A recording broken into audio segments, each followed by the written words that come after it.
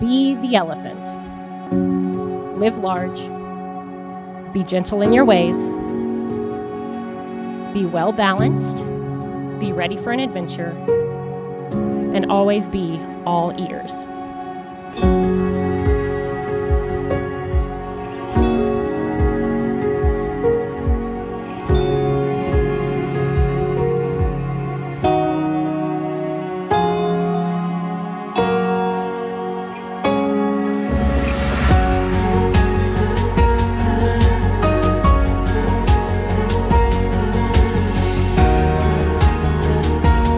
Bob, you are the perfect complement to Amanda.